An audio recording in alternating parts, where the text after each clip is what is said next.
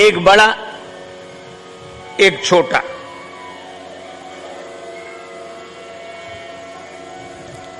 और दोनों के पास एक कम्बल और एक भैंस।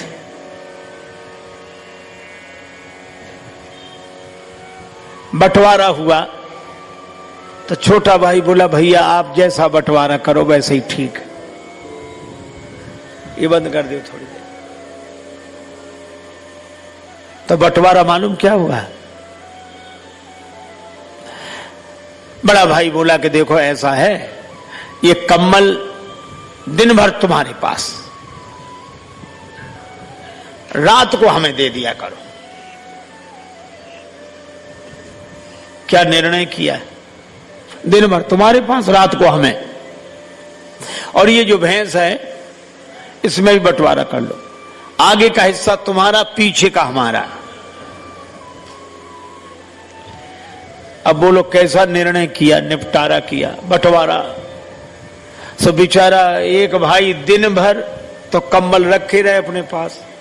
दिन में ज़रूरत नहीं ओढ़ने की। और जैसे ही शाम होने लगे, सो वो कहे, हमारा कम्बल हमें दे दो। सो रात भर कम्बल ओढ़ के आराम से सोए। और सवेरा, भैया, ले जाओ अपना कम्बल दिन भर तुम रखो। और भैंस का आगे का हिस्सा छोटे भाई को दे दिया, सो बेचारा खिलाए, पिलाए, वो। और पीछे का हिस्सा उसका, सो दूध वो दो है बेचारा परेशान हो गया कि भाई तो प्राण लिए है। ऐसा निर्णय किया, ऐसा बंटवारा किया। एक महात्मा थे, बोले तुम घबराओ मत। महात्मा ने उनके कान में एक मंत्र गुनगुना दिया, बोले, इसी का प्रयोग करना। ठीक है? तो उसको जैसी कम्बल दिन को मिला तो उसने क्या किया? कम्बल को जैसे ही मिला, सो पानी की बड़ी नाद थी, उसी में डुबो दिया। और दिन भर भिगाए रखा। शाम आई, बोला, हमारा कम्बल बोली है, ले जा बोले, ये क्या कर दिया? बोले, हम अपने समय में कुछ भी करें। दिन तो हमें मिला ही है। बेचारा रात भर कंबल नहीं ओढ़ पाया।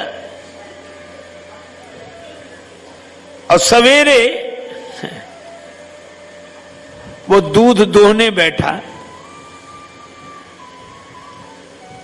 और वो छोटे भाई ने क्या किया? लिया डंडा।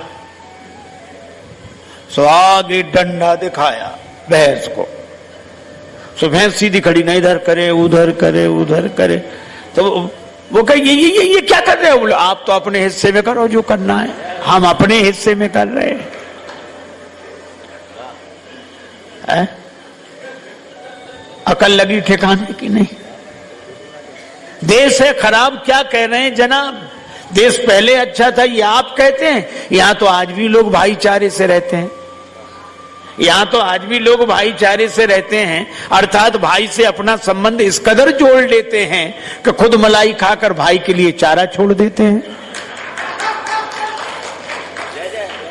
खुद मलाई खाकर भाई के लिए चारा छोड़ देते हैं और प्रेम अधिक उमड़े तो मामले को ही दबा देते हैं। है?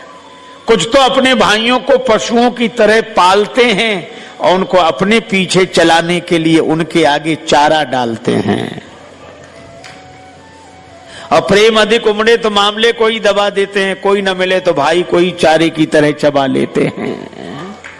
ये और इसीलिए मुझे लगता है कि इस बंधुत्व में